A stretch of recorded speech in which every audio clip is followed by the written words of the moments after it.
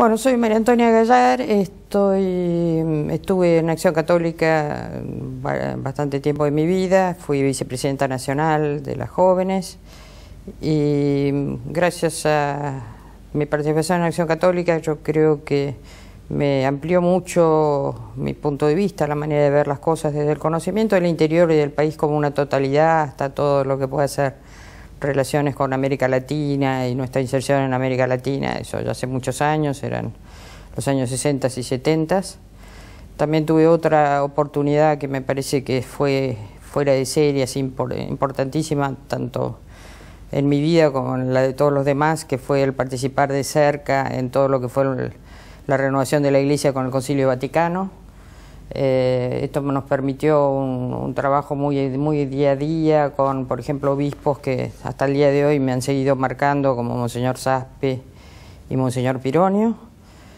Fue además todo un, conocimiento de un mundo mucho más amplio del que hubiera tenido por mi familia, mi parroquia, mi, mi colegio. Eh, también me fundamentó mucho para seguir estudiando. Yo había dejado de estudiar bastante joven y volví, terminé la carrera y empecé a ser investigadora. Fui investigadora durante prácticamente 30 años.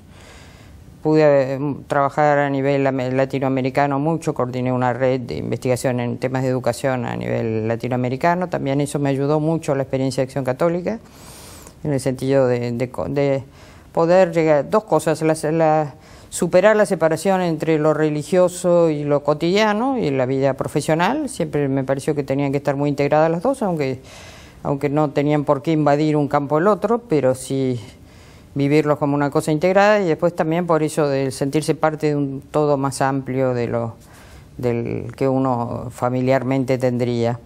Amistades para toda la vida, cosas que, eh, que realmente uno agradece. Y creo que alguna escala de valores que va surgiendo en los momentos álgidos, ¿no? que no, no, no siempre uno puede hacer lo que se tiene que hacer, y lo, pero que por lo menos tiene claro que si no lo hace lo está mal. ¿no?